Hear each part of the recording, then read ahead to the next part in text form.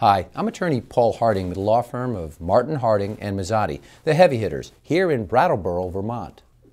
There are nearly 9 million registered motorcycles in the U.S., and their popularity just keeps growing. You know, it's no wonder people enjoy riding motorcycles.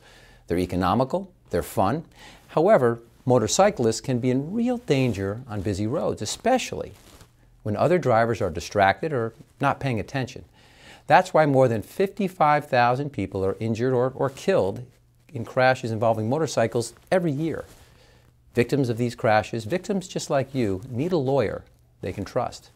If you or a loved one has been injured in a motorcycle accident and would like to discuss your situation with a lawyer you can trust, call 1 800 Law 1010 for a free, no obligation case evaluation or visit us online for more information at 1 800 Law 1010.com. We're Martin Harding and Mazzotti, the heavy hitters, and we look forward to helping you get the money you deserve.